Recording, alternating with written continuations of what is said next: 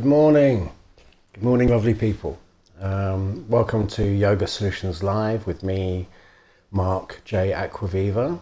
Um, yeah, so ap- apologies for my absence over the last month or so. I've, I've been a bit busy with uh, doing up my flat, and uh, yeah, it's summer, so you know, people getting on with their lives over the summer.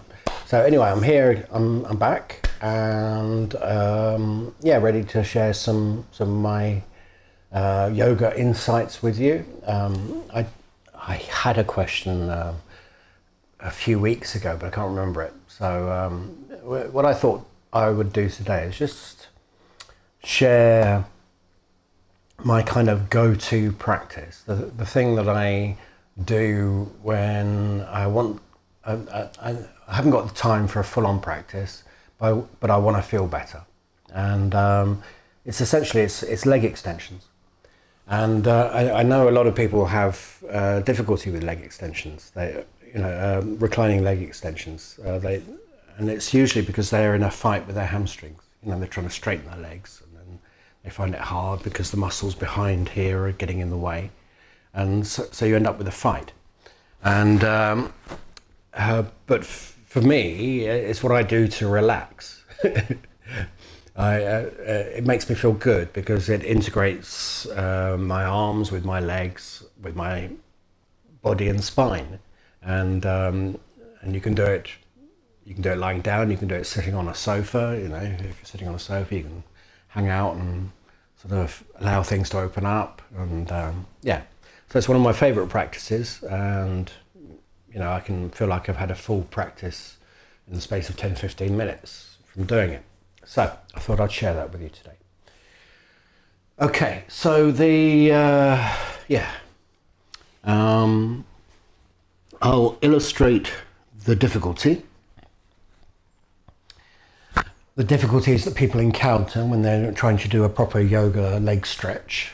And it's usually because, first of all, they reach for their foot, and in doing so, they pull the foot close to their face and lift up to find it. It's not, it's not, it's not the end of the world. But then you try and straighten your leg and you end up um, kind of fighting yourself because there's two conflicting things going on. You try to straighten your leg and you try to hold on to your foot. And uh, the result is conflict. And that conflict is experienced in your knee, your hips, uh, your back, whatever. Right? So the the first part of the solution is is change your mind, change change your idea of what you're doing. You're not trying to stretch your leg. What you're trying to do is relax into support. Okay, that, that's that that's the kind of ultimate goal. Is uh, postures are meant to be supportive so that we can um, relax into them and uh, yes, enjoy the benefits of integrating the body whilst being relaxed. so, uh, let's see. The, the, the, yeah, if what you're looking for is support, so maybe sit with me because uh, this will illustrate the thing. If you take hold of your foot, right, what are you supporting? If you're supporting the leg, then you need a hand, and, and I, I, I warn you now, this approach is going to require strong hands and strong feet, okay? But um, if, if what you're supporting is the leg, then relax the leg, okay? And if you, if you relax the leg and the weight of that leg is pulling you off center, then you're not supporting yourself. What you need to do is use your hand. So instead of holding lightly onto your foot with, with your hand like that, you hold on to your foot. And uh, I'm using the outside edge because it's kind of easier.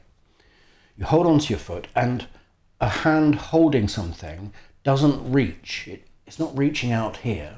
It's hooking back. You hold on to it. And if you hold on to it using your wrist and your hand, then you can relax the leg into it.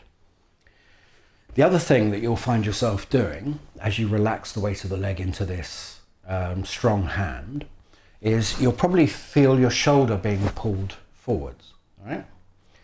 Which will make you tense in your neck, whether you notice it or not. You're looking for support, you're looking to support this leg, but you're also looking to support yourself. So if you use this point of the thing you're hanging, you're, you're hooking over to support yourself, your shoulder will come back and bring you closer to the support. The result is that your neck doesn't have to compensate for the heaviness of the leg. You see? So if your arm, if your wing can hook back from the hand, which is away from you, holding onto the foot, then you can use if, if your if your mind is in the right place, you know, if your intention is to find support, you are using this point of contact to support yourself. So it won't be you lifting your body and holding onto your leg. It'll be you using your arm to relax from. Okay? And your wing will be doing some of that action. If you do it with your elbow, it, it's just it's tension across the front of you that makes you collapse. If you use your wing and bring the wing behind you, then that by definition will bring you forwards of the wing. So your spine will be supported and your head will not have to hold itself in space. If you're doing this and you're relaxing the weight of the leg completely into the support and you're, you're relaxing your spine into the support that you're creating, you will find that your hand and wrist have to be very, very strong. Okay, so I'm just I'm just saying that so because if you if you're there having the experience going, but that can't be right because that's really hard work for my wrist or my forearm or something. Okay, it, it, it just is. Muscles do what they do. So that's how a hand holds a foot. The, the other half of this is how do you support yourself with the foot? And for that, um, I'm going to lie down. By the way, uh, you know, this is taking longer than I would take if I was doing my own leg extension because I'm explaining the different parts of it. But um, if you if you go through and explore each of these aspects for yourself, when they all work together, it makes life so much simpler. Okay, so uh, yes, one suggestion I have is instead of lying on your back with your legs straight, curl up a bit on the opposite side to the leg you want to extend. Get comfortable. Grab hold of the foot and just just give it a little nudge with your wing so that you so that you feel supported by the arm. Okay, the, the, the thing we just did.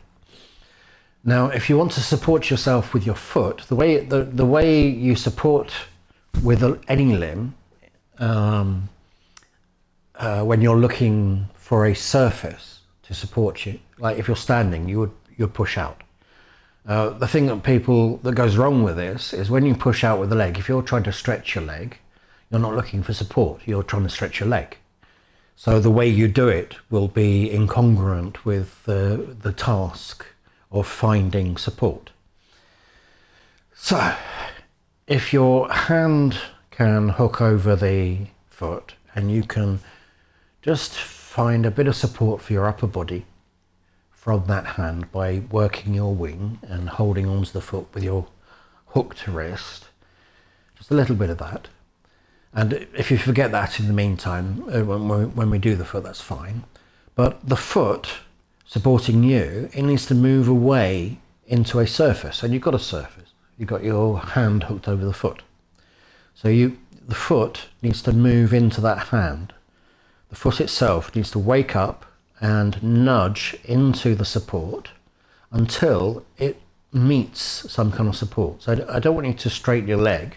I want you to send your foot into the hand as far as it goes where it feels like it's a surface that you can use for support. So using it will press you back away from it into the ground. But if you were if you were just if you were actually looking for support, you wouldn't keep pushing hard. You'd find that point of support and relax into it. So the foot is active, it's meeting the hook of the hand, and you're able to relax back from it in your shoulder so that the spine can be free.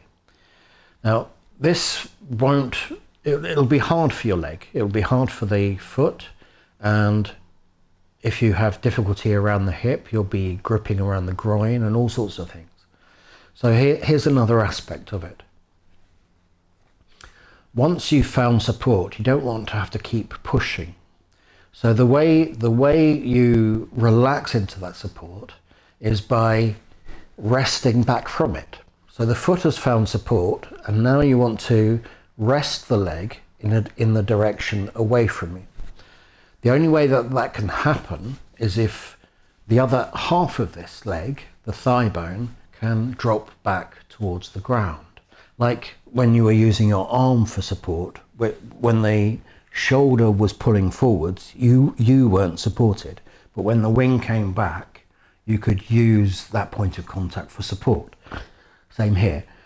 The foot is moving away from you into support, but the only way you can feel that support is if the hip can drop back away from it, and you have muscles that can do that.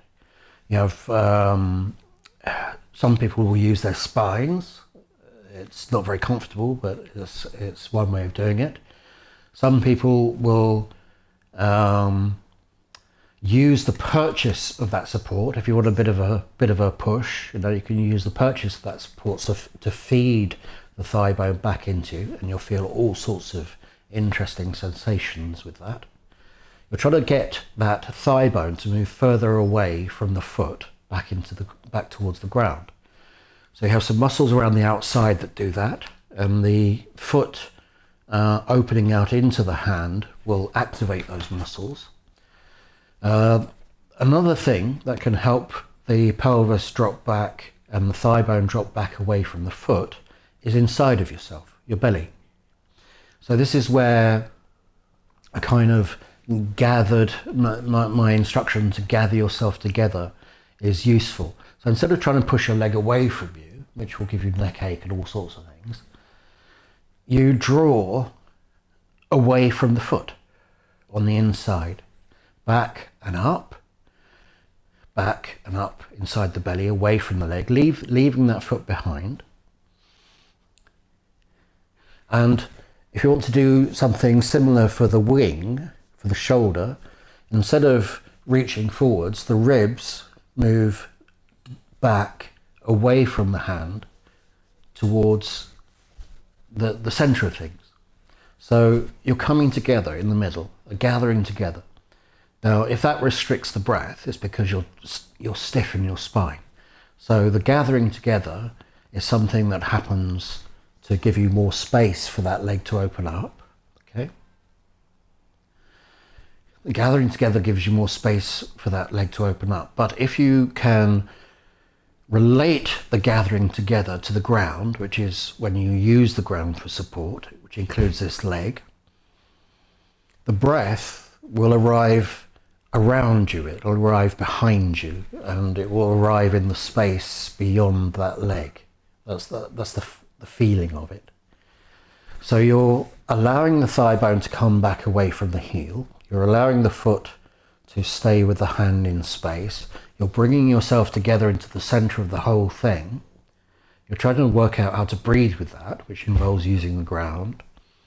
When you release the breath, you can let go of everything. You can let go inwards and you can let go outwards, away from you.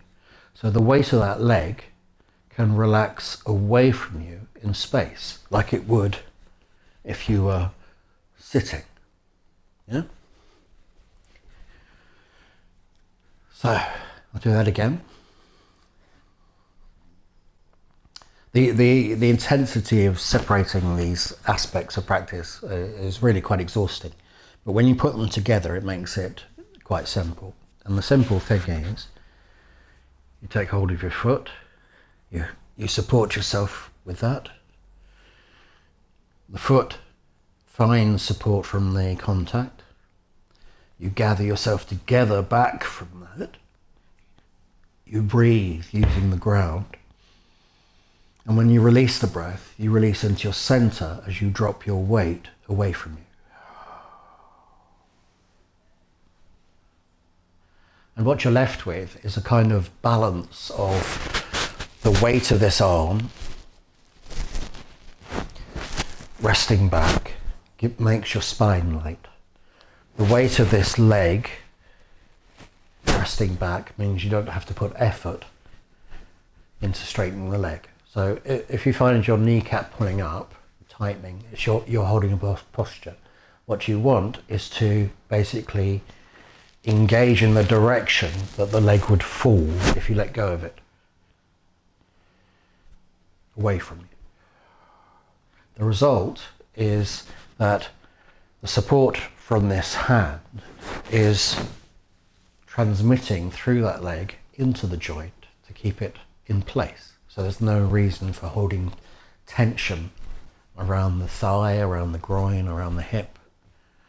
There's no reason for holding any tension. The hamstring will have yielded because you're not fighting it. It's just there as kind of tensile integrity. You'll feel it challenged or feel it elongated, but you won't be holding tension in it. And if you've got that sort of structural balance where the weight of the arm hanging off the foot equals the support you need to relax the leg, then you can simplify into being in a leg extension where you let go of your weight into contact as you breathe. And you release into yourself, away from what you're doing, into your center, back from that leg, back from that arm, into your center as you release the breath. And in doing so, you can drop your weight away from you.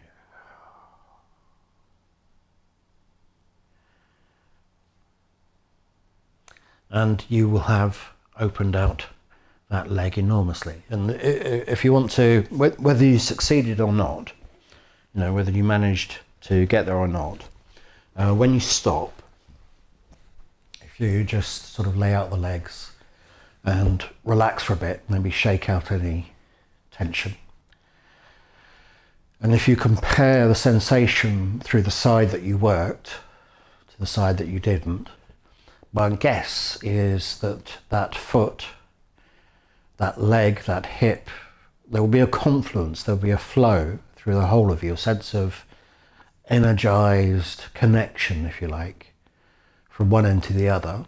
And in comparison, the other side will probably feel like a lump. so, um, leg extensions. So when, when I'm just, I don't know, watching telly on the sofa or something, uh, I rarely do that actually. I normally sit, sit on a on a mat on the floor of some kind so that I can roll around. But um, the thing I do when I'm watching TV on the sofa and uh, I want to get into my body is the same thing. I just do it sitting and I've got a surface behind me, uh, the sofa, as opposed to the floor when I'm lying down. Same thing, I just take hold of my foot. The foot meets the hand and the purpose is to rest back into myself, towards my center, so that I can let go to breathe and let go back into my center as I release outwards with the release of the breath. And I can, you know, provided your, your hand and foot are strong enough, you can relax into that for a bit, wait for the tissue to soften and open up no tension in the thigh, no tension around the knee, no pull on your neck because your wings working. And, and in this sort of relaxed state, you naturally try and find balance as you breathe and release. And it's the release of the breath that brings you back to your center. And if there's any effort involved in supporting this, the effort will be trans, translated as strength in the muscles that get involved with releasing the breath. I don't mean push the breath out. I just mean you're in a natural balanced state and relaxing will bring you back to your spine and naturally the ribs, the core and other things will get involved without you having to push and pull. It will feel like you're relaxing your leg open. Okay? So that's uh, that'll do. That'll do from me. uh, it's nice to be back, and um, yeah, I hope you enjoyed that. Feel free to share it around Facebook or anywhere else. Really, I, I, might put it up on YouTube. This one. Um, yeah, if you want access to all of these sessions that I've done, you can become a silver member for less than a fiver a month. And uh, there's a backlog of um, a catalogue of I don't know 100, 150, 200 of these uh, podcasts uh, on different subjects. Uh, some of them are repeated, but I never quite talk about things in the same way.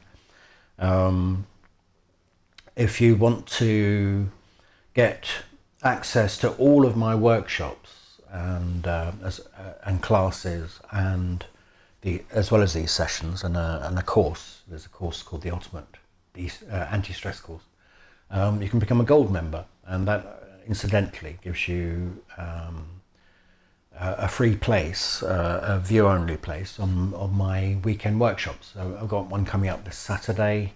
Uh, it's not up on the website yet. I didn't need to do that today yeah, I've, I've got one coming up this Saturday. Every every Saturday, I like to do a two and a half hour workshop, ten thirty to one, based on the needs of the participants. So whoever turns up um, can work directly whatever with whatever they're interested in on, on the day, and um, it's always interesting for everyone because uh, we all have hips, shoulders, knees, elbows, and spines. So um, yes, do uh, yeah, you can you can uh, drop in for that as, or you can you know if you're keen, uh, get a membership and and uh, turn up for nothing.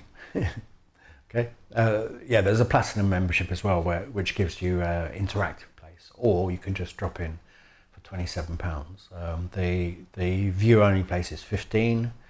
Um, yeah, that's this Saturday. What else? Well, that'll do for now.